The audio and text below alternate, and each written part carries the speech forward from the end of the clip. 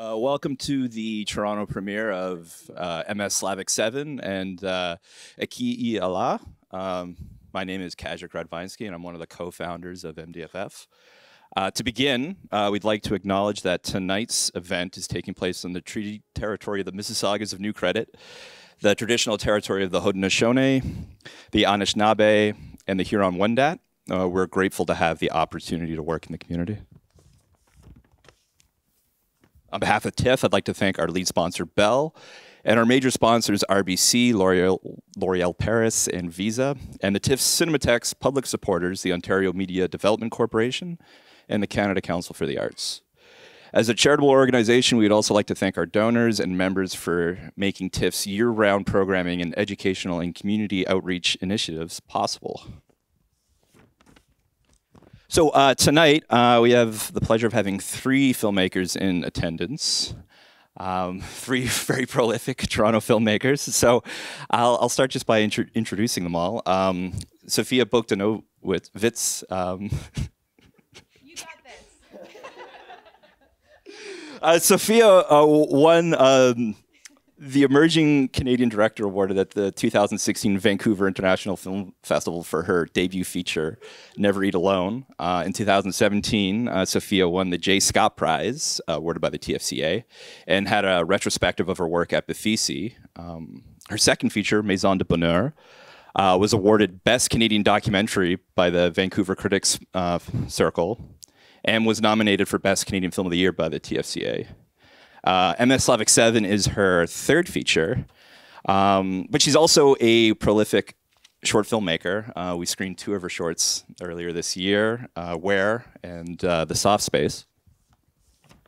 Uh, MS Slavic 7 is co-directed by Deragh Campbell, who is a, a local um, filmmaker and actor. Um, her performance credits include uh, lead roles in I Used to Be Darker by Matt Porterfield, Stinking Heaven uh, by Nathan Silver, which we screened back when we were doing uh, screenings at the Royal um, back in 2017.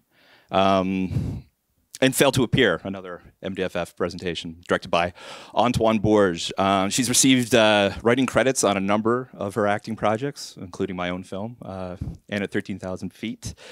And uh, she's been selected for Rising Star by TIFF and the Artists Academy at the New York Film Festival. Sofia and Deragh have collaborated on a number of times, um, with Deragh appearing as the character of Audrey Benac, um, an amateur family historian, um, who appeared in Sofia's previous uh, short film, Veslemøy's Song, and her first feature, uh, Never Eat Alone. Um, MS Slavic 7 is the first time that they've shared a directing credit. Um, in MS Slavic 7, um, Audrey is now researching her great grandmother's letters uh, from the 1950s and 60s. Uh, letters written to the famed Polish poet Joseph uh. Um, MS Slavic 7 is the reference code, um, the actual real life uh, reference code um, housed in the archives of Harvard's Houghton Library. Also, Audrey's great grandmother, Zofia Bogdanowicz Zova, uh, I'm Polish too, and I'm kidding. uh, is actually uh, Sofia's real life grandmother, uh, great grandmother. So, um, and that's just one of the many ways in which um, the filmmakers Sofia and Deragh play with this notion of authenticity. Uh, who is allowed to to tell which kinds of stories, and um, I'm sure there'll be plenty more to talk about in the Q and A. Tonight, we're also joined by Lina Rodriguez, uh, who made Aquí y allá. Um, Lina is a Colombian Canadian director. She's written and directed and produced uh, six short films and two feature films, which have been showcased around the world at Locarno, TIFF, New York Film Festival, Mar, Mar del Plata, and also at the Harvard Film Archives. Um, both of her features have screened theatrically here at the Lightbox, and also earlier this year, we screened a short by Lina, Ante mis ojos. Uh, we're thrilled to be screening the Toronto premiere of Lina's latest work, Aquí y allá. Um, it's a poetic reflection on family as an emotional system that operates across generations. Um, it juxtaposes uh, color 16 millimeter film, black and white, uh, mini DV footage, and photos from the filmmaker's um, family archive. So, uh, without further ado, please join me in welcoming um, Sofia, Deragh, and Lina.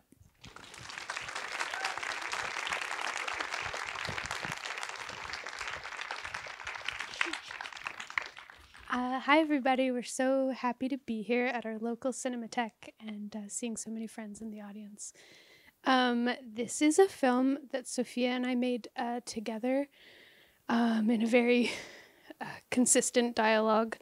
Um, when Sofia discovered um, these letters were in an archive at Harvard, we once again utilized this character, Audrey Benac, who has sort of sort of began as a stand-in for Sofia, um, but has since sort of become a vehicle through which we can examine her family history further, um, but also channel our own anxieties. And, you know, she also kind of has a life a bit independent from us as well. Um, so, yeah, this film was made in Toronto and with uh, the support of a lot of people in Toronto. It was workshopped with a lot of uh, Toronto filmmakers that I see in the audience that really shaped what the film became. Uh, so we're really, yeah, we're really including Lina, Grace. um, yeah, so we're um, we're really happy uh, to be showing it here tonight, and Sofia is going to go on and uh, thank people more specifically. Yeah, we just want to name all of our pals that helped uh, us make this happen. We are indebted to you, I think. Um, part of the film was actually shot here in the TIFF Bell Lightbox. So we were trying to stage Harvard and we were looking for a reception area. Um, and they let us shoot here in the summer when the uh, reference library was closed down. So we wanted to thank Michelle Lovegrove Thompson, Kate Watson, and Lina Rodriguez for generously coordinating this for us. Um, and we're really thrilled that we get to bring it back here and screen it here in this building. Um, we wanted to thank Dan and Kaz for being amazing distributors for our release this week. We're so grateful. Um, our brilliant publicist, Sam Chater. Without her, you wouldn't be here tonight. We love Sam. Um, the TIFF Cinematheque team, so Amanda Brayson, Lydia Ogwang, and Brad Deane, as well as the TIFF new release team, Lauren Zavitz, Mingjen Lim, Charlotte Vincer, Caitlin Garvey, um, and also the amazing TIFF social team that is Sasha and Andrew. Um, we're grateful to the Ekran Film Festival for promoting the release as well. Um, our brilliant producer, Calvin Thomas, is here. I don't know where you are, Calvin.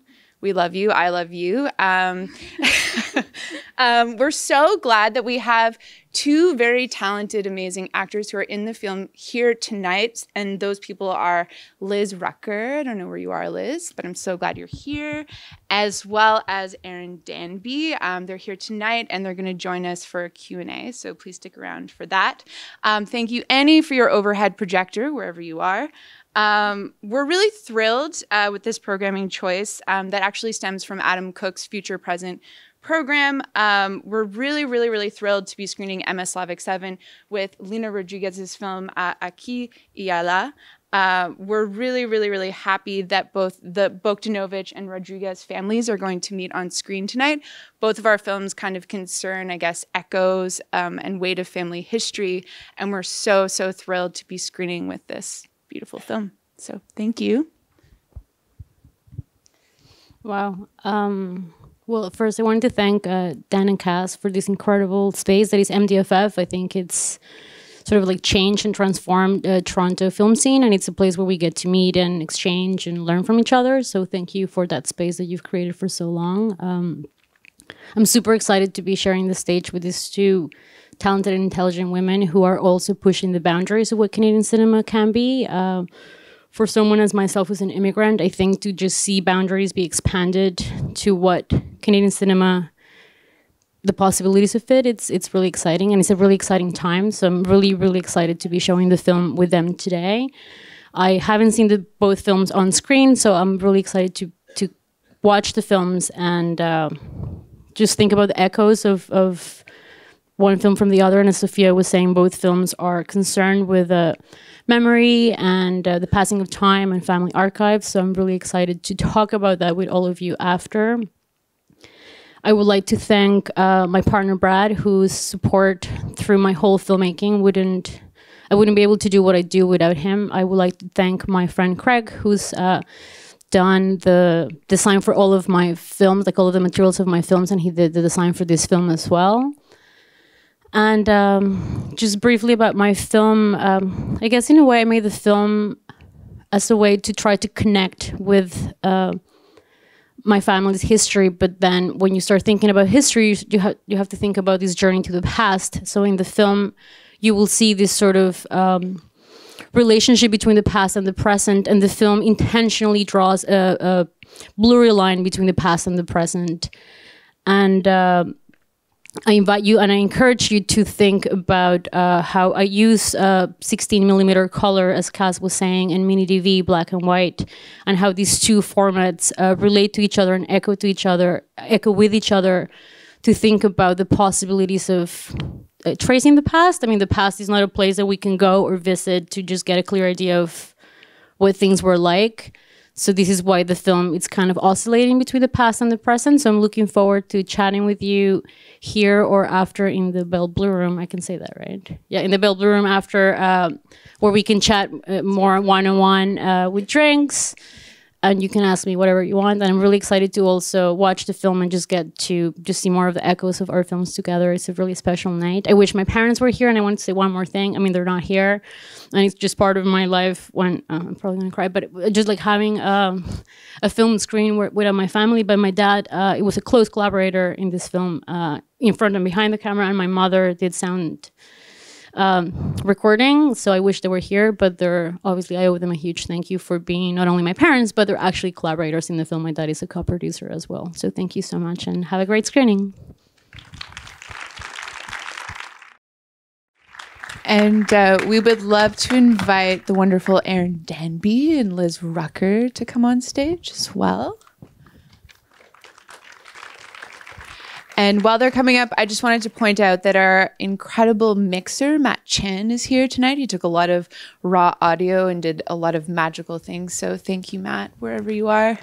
And uh, there's also Ken Tudo, who's here tonight, who helped us during production. Thank you so much, Ken. Hey, there you are. Hey. Thanks, Ken.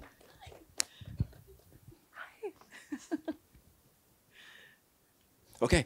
Uh, uh, I'm sure that the audience has a lot of questions, but uh, maybe we could start. I mean, with both films, talking about the um, obviously family and histories, but the, the specific origins or the starting points of each film. Yeah. Um, so I was Googling um, my great grandmother's name. Um, I had made several short films based on her poetry and was looking for more meat, I guess, or just like I wanted to learn more about her biography. And I came across these letters in um, an archive at Harvard at Houghton Library. And I was kind of pinching myself when I found them. I was like, really? Harvard? What are these letters? What could they be? And there was 25 of them. And they were written to Joseph Wittlin.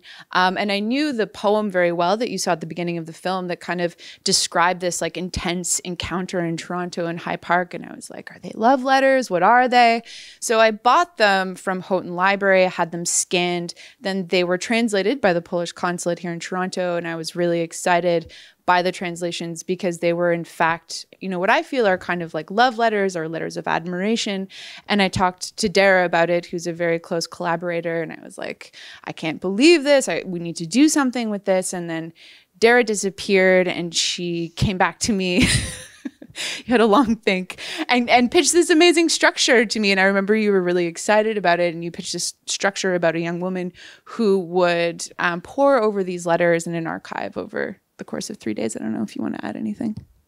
Yeah. So she pitched this structure and then we shot it in about seven days. So that's that's how it started. You have one. Oh, another. amazing. Thank you. Um, actually, uh, I was first interested in trying to go back to the 50s because my fa- my grandfather was a truck driver and in the 50s there was this time of called like the violence in Colombia. So I wanted to try to track the echoes of violence through the town and because my grandfather used to tell all these stories when I was growing up, my, my both my grandmother and my grandfather have passed away. So when I went to do preliminary interviews, I started talking to my dad, and then my dad took me to the town, which I had been at before, and I had actually spent time there with my grandparents. And then he took me around the town, and then the house, which I knew, and then he just started kind of like talking about their childhood together. And then I realized that a lot of the violence that I thought had happened in the town had happened outside of the town, and then I just and then I just realized that really what I was trying to do was probably trying to find ways to connect to this family history. And although the violent, kind of like bigger picture of, of the country, something that interests me, I, I felt like the film that I was trying to make without knowing, it was a very process driven thing. So this was just the beginning, was really more about family. So then I started thinking about just making a film about like my dad and his siblings, and then the house where they grew up was sold, and that was kind of like the last connection to the town. So I felt that that was a I guess like a great excuse to try to go and document this house, which uh, I mean, other people live there now, so it, it was just trying to find a way to just. I, I love this um, moment in MS Slavic Seven where uh, where Audrey's talking about grasping, and I was thinking about this gesture that perhaps as filmmakers we make in general, but it's about like grasping something, and I and I guess I think that's what happened. I think I realized that it was a time for me to try to grasp something through an archive that in a sense is a house right? And, and, a house and a space perhaps is not like a traditional archive that you would see in a place but it, it, it's like an archive of all of these different layers of history. So i realized that that was what i had to do and just kind of like shifted the film to, to be more personal and uh, focus on my family and then ask my dad to collaborate and anyway there, there came like this whole process of collaborating with my dad where he uh, developed questions to interview his siblings and then and I can talk more about the formats and stuff, but I, I anyway, but that's kind of like how it it was sort of about the town, and then it became more about family, and then I guess my search for this connection with the past and the impossibility of grasping the past. I guess. Yeah, I, I think both films there's th- sort of multiple or sort of multiple stories or broken stories or fragments of stories. I think it's really interesting in your film, Lina, how the stories sort of appear silently over over black screens. And then similarly, I mean, it happens in multiple ways in MS Slavic with the subtitles appearing as there is sort of going, or Audrey's going through. I wonder if you could talk about that a bit, sort of the nature of archives and histories and how you decided to um, display them. Can I start? Okay. You want me? um, yeah, originally we had this idea that we would sort of deconstruct the letters and have these silent segments of viewing the letters, and then you would learn about the letters through Audrey's understanding of them, and then at the end you would have this final recital and a more direct um, contact with the letters. Um, but as we were sort of doing uh, note sessions um, with uh, some different filmmakers in Toronto. One of we we started kind of talking about the narrative of the letters, and people sort of pointed out to us uh, that the narrative was absent, or that or that it was withheld for a very long time. So we tried to find, because the the letters were so rich, we did try and find a way to insert them throughout um, and so that's kind of how the, the subtitles came about. Um, and, and I think it, it funnily enough ended up having all these different implications or, or it ended up connecting with our original intentions in different ways where for me like the monologues are so much about reading and about kind of the emotional experience of reading and connecting it to other things that you've you've read and that kind of uh, feeling you get when you're you're close to understanding something, but you're also a little bit frustrated because you haven't quite got there yet. Um, so the subtitles, I think, mean that you you have to read in so many different ways throughout the film, and that you have texts that are filmed that we filmed during principal shooting, and then you have texts that we inserted during editing. So there are all these different interventions, these different times that you see us inserting texts as well. Um, I've really gone away from the original question. No, but um, what was the original question? No, you, you totally got it. It was about the, the subtitles and how that came Yeah. about. And it, yeah, no, you're, you're totally on it. And um, I think part of your original pitch was to explore these um, letters as artifacts in three different ways. So the first one was to look at like the letters as physical objects, like how do they sound? How do, how do they feel in your hands? And I did like a lot of foleying with these letters um, in post production so you could kind of like feel how delicate they were. And I think Matt did like a very good job of embodying that in the the mix. So the first one was, you know, the letter as an object. Second one is like the erratic qualities of a letter, the spirit of the letter. Um, so those subtitles being there at the beginning, you know, Audrey doesn't speak Polish, but what we were wondering is like, does the weight of, you know, the history of her family still exist and does that still impact her here and now, um, despite the fact that she can't exactly understand what that history means. And then the third part was the content. So finally, we get to see the translations of the letters, um, and we're really studying what they're saying to each other. And then there's like the recital of them. And I think through the structure that you pitched, we were able, I think, to explore the letter through all of those avenues. So, yeah. Um, it's interesting the the idea of this kind of fragmented sort of like piecing together. And I, guess as i was saying at the beginning at, at, least for me my process of trying to figure out how to connect to the past because the past is not like a place that you can go to then you start trying to figure out how to recompose that. And it's like I, I guess for me it was trying to recompose like this series of intensities in a way which is why the film also has and, and i was thinking about this as i was watching the films like there's like this interesting kind of like choral or like these kind of like multiple voices and even if in ms Like 7 you you in a way you are seeing one perspective you're seeing multiple perspectives because you see these echoes and the way that the text comes in these different ways. And one of the things when i was trying to reconstruct this family past it was like i wanted to speak about these spaces and what my family told me had happened there. And um, I guess for Spanish speakers, it, it, it, might be a bit richer because there's all of this kind of sound work where there's like voices that speak of these other things. So it's about like these haunted spaces that have these other layers. But then at the end then towards the end you have like these quotations where like i'm quoting. So it's like i guess it's it's i guess in a way it's trying to explore who the i is and how do i i speak of the past but the i is contain like i contain other eyes i guess i contain other parts of the family history and um, in my film because I was trying to figure out how to speak of this past and what happened in these spaces and the people who are in these spaces now, which is not my family.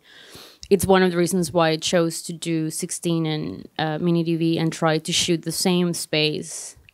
So again, it's kind of like fragmenting one space from two different perspectives to try to create a new space or evoke the space that was and is now. So that's why you see like the same spaces, but they're like slightly different angles from black and white and color. So I think this idea of like this, it's like a broken text, a broken image, and a broken sound, trying to perhaps find a way to create a new space that is in between the both both space and time, which is the past and the present. Uh, one more question before I open it up. Uh, perhaps for, for the actors. Um, uh, yeah, I'm sure Deragh's quite familiar with Sofia's um, process, but I wonder, yeah, what it was like being sort of brought into this film with such personal subject matter in some ways. Was that present, or was it? Maybe this is a question for Sofia too, because uh, it's sort of an evolution your work being more fictional. But um, yeah, I'm curious how you approached uh, your characters. Well, sure. I mean um, there was a lot of discussion around the nature of the aunt and knowing that I was stepping into Sofia's family story and perhaps portraying some, perhaps portraying someone in her family. Um, maybe. Um, yeah, yeah. um, yeah, I mean, it, on one hand, it, it felt like a responsibility and a bit of a puzzle for me you know what what does it mean then also how what would this character be for me and i actually looked to my own family and my own aunts i mean i have very kind and gregarious aunts, but um, but still at the same time they can have an edge or you know just observing an aunt who i don't know sometimes will get mad at me or frustrated with my youth. I'm trying to work with that. Um, but yet i think in all of it there was the strong sense that this aunt was absolutely mean. Like i could i'd be like well you know maybe she's having a hard time. It's like no she's mean. Um, and that was very i mean i mean i still felt for her you know? Um, like i really i i liked her in some way. Um, but that was i was really it's it's it's i mean it's an honor in a way to step into someone's family story like that and and wanting to get it right. So um, yeah that i felt very affected by the opportunity to do that. Um, so I came into the film kind of last minute. Um, I think Sofia had someone else in mind to, to play the part of the, the librarian. Um, so I did come in really at the last moment. But um, so the approach for me was less about the family dynamic and more about the um, coming from the perspective of the the archive. Um, and so for me, I I looked at it more as um, kind of uh, venerating the the archive and like the uh, the role of the archi- the archivist. I kind of um, took that on almost as being like a priest of the of the archive. right, I was right. very defensive of the, the sacredness of, of the material. Um, yeah, and that's all I have to say. yeah, yeah. We actually filmed the screen at Harvard a few weeks ago, and archivists were like really excited by your character and the way that like he protected the material. One of the archivists said like he's actually a hero. So you were very you're very accurate on that, and yeah, and I think you also really approached your character with like a lot of empathy. And the thing is is that audrey's a brat. Like she's a millennial. And she doesn't have like she she's unable to understand i think the weight of like the what the parental generation had to experience with having parents who uh, experienced the war you know? Um, she didn't have to live through that trauma. So i think that dissonance is like dissonance that can exist within the parental generation. But also like anya is like a little bit of like a shadow you know when you're trying to self-actualize and you're in the midst of like creating something there's a, this voice of self-doubt that comes in. And that's something that we realized in the edit too that was coming through. I was like oh this voice sounds familiar. This is my own voice that comes in when i'm trying to make something. So i think that character's a lot of She's things kind of a foil. yeah you brought something really special to it you really went for it But yeah, Audrey's not really necessarily able to see other people beyond uh, being obstacles to herself and her her single mindedness as well. So I- you're also seeing her kind of villainize them. I mean, there's a comedy in like how nice you guys are compared to the characters. Yeah. I found it interesting though, just even like because the first time I've seen the film, um, going like, wow, that's the arc. Um, but I find it interesting just uh, in terms of the story how the past is kind of owned by the ancestors, and in some ways they can be like a barrier to it because the past is hard for them to bear, or um, and you're you, you see the richness of it, but the pain it's hard to get through, and that kind of tension between the generations was like present for me in both the works in really complex ways is really interesting. So yeah, sort of something I I got. Watch it, yeah. Uh, questions from the audience? Um, yeah. Um, Rebecca. Yeah.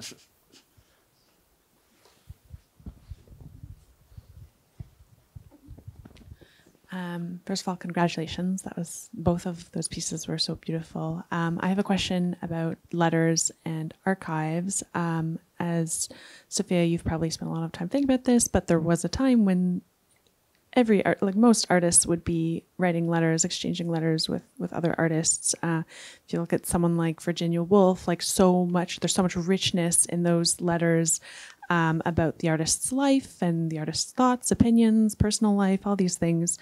Um, today, so few artists that I know um, write handwritten letters. Uh, we all exchange um, our thoughts and planning films over email. Um, and I'm just wondering, mm, 50 years from now, 100 years from now, I would not be at all surprised if archivists took great interest in the work that um, you're all creating. And I'm just wondering if, if today, um, Sofia, Deragh, and Lina, if if you're thinking at all about um, what you will, what you are are going to leave behind apart from your films in terms of, um, you know, pieces of writing containing your your thoughts and your opinions and your, you know, information about your personal lives and um, do you write letters do most of you do you keep journals do you you know yeah that's my question Do you want me to start? I can start. Okay. Yeah. Sure. I mean, I don't know how interesting my Gmail is going to be in 50 years. We'll see. Um, but yeah, you're right. You know, we don't write letters anymore to each other and we don't really pay attention to our words. And yet, I think, you know, they really, really matter, you know, the way that we interact with one another and what we say. Um, and you know, one of one film that was a big um, inspiration for Deragh and I when we were making it was um, "The Dreamed Ones" by Ruth Beckermann, which was uh, a correspondence between Paul Celan and uh, Ingeborg Bachmann, two poets. And Deragh and I saw it together, and we were really moved by this correspondence. And then that's when I realized, like, oh, there are these letters that exist that my great grandmother wrote to this poet, and I, you know, was very inspired um, to exhume them and to examine um, that relationship. And that was very inspiring um, to me. And um, Deragh so eloquently uh, references in one of her monologues, she references um, On Kawara, who sends out those postcards that say, I got up to his friend. And I think for my great grandmother, who was a survivor of World War II, she didn't experience the Holocaust, certainly, but um, survived um, living in a camp in Siberia. I think what those letters represented for her were like markers of existence, and for Joseph Wittlin as well, because he was a Holocaust survivor too. So I think just, I think the luxury to exchange those words, but also to be continuing to be making work creatively after surviving all of that was really impactful and significant. Um, and in terms of what I'm leaving behind or how I'm going to preserve that, I'm not exactly sure, you know.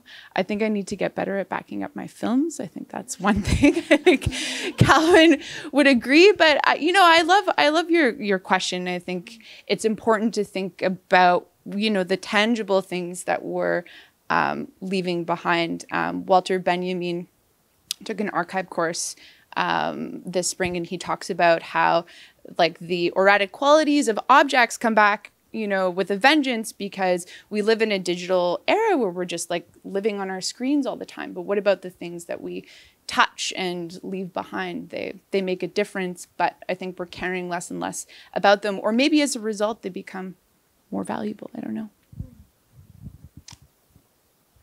I mean, I think a lot of us have very meaningful exchanges online. Maybe some of the difficulty will be in moving between these different, like constructing a narrative between the messages you might be having by email and Instagram Messenger and by text, and kind of that obviously many holes are made and then can kind of be uh, puzzled together, I think. But even um, like thinking I was thinking about text messaging recently and the weird way that that a text is um, an interruption and there's a, a strange urgency where you feel you have to get back to it uh, right away. And i was joking with my friend about how i usually answer texts at like 5 p.m like maybe like message me at any point in the day and i'll get back to you at 5 p.m um, but um, um, but but that somehow email actually has taken on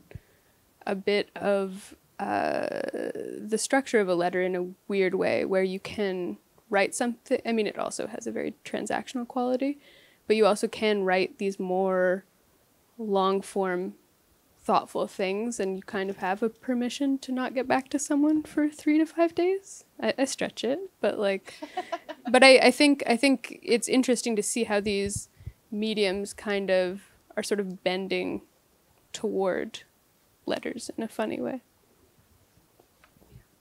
Um, I don't really interact that. I mean, besides email, that's kind of what I do. But I was thinking about um, WhatsApp. Like, I mean, I guess out of, out of all of the sort of digital kind of ways of communication, WhatsApp has become a very specific way that I communicate with certain people. And so, so in terms of like my family history, even like with like I'm here, my parents are in Colombia, my brother's in Australia, and just this kind of like tracking the this communication um, I guess for me becomes about trying to focus on which I do in my films, kind of both the experimental work and the fiction work so far, and it's like focusing on these quotidian details of life, right? And that's why in some of my films, like even just looking at a kitchen and how someone lives and like the objects in a kitchen start kind of talking about these daily lives, which is I'm not I'm not so sure I will be remembered. I want to be remembered and I don't want to be mean to anyone else, but I think we're all going to probably fade to oblivion and I don't know if it's about leaving a mark,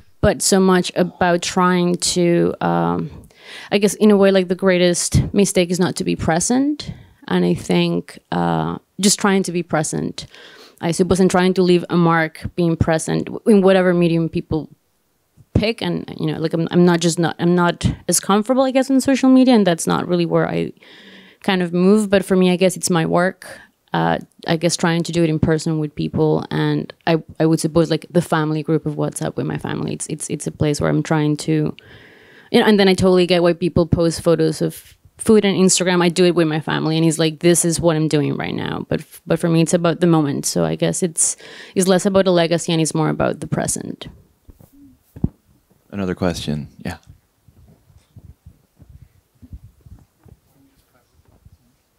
Thanks. Uh, question for the filmmakers. Um, I find a lot of times when people are making movies that deal with other languages, the status quo is to basically translate everything. But in both films, there were instances where uh, either there was content in Polish or content in Spanish that was not translated. So I was wondering what the thought process was behind um, making a selection of whether it be the music or the poetry or things that people were saying uh, that weren't translated and why were they not translated? Like at some point for me uh, because there is all of this layers of voices of my and sometimes it's about what they're saying about that space but sometimes it's about other spaces and i really wanted to truncate i guess the or like going back to what Kaz was saying about fragmentation, like really fragment the time and space because like you know the past is not a solid reality that we can understand. So it was it, it's, it's not that I can translate that past, even if I know what happened or they told me what happened. So I felt that at some point I was really tempted to um, translate some things and there's like some subtle threads. It, it's like a family tapestry at the end. There's all of these different threads and i was kind of really tempted to translate some stuff because there's some stuff about there's like a little thread about race where like they're talking about how my grandfather was darker and there was like this racism towards him. And then at the beginning there's like one of my aunts who's talking about how this other aunt was really beautiful because she was white. And i was just like oh like people who don't speak spanish will never get this. And i and i tried actually to translate it and I just felt like the tag. I mean, it became commentary too. Like it became like this literal commentary into what something is. And I think ultimately what I realized is that I can't really translate this past. So I'm always going to be missing something, and it's a it's a it's an incomplete, fragmented, and sort of like broken tapestry that I'm trying to put together. But there's no way that'll be precise and solid. So I just I, I felt that it was better to have these multiple textures and these different ways to connect to things through like image, sound, uh, words, and text, and to just have that come together and fall apart. And then whoever was following whichever part would have different understandings. Okay. Unfortunately, I don't think we have time for more for more questions. No, no, this has been an, uh, an incredible Q and A. The the the upside is that we can now go for drinks and talk more. Um, but yeah, please join me thanking once again Sofia, Deragh, and Lina. Thank you, Kaz, for Thanks, having Kaz. us. You're the best. Yeah, thank you. Thank you all for Yeah, coming. Yeah, and we'll, we'll be just upstairs, uh, Bell Blue Room. Just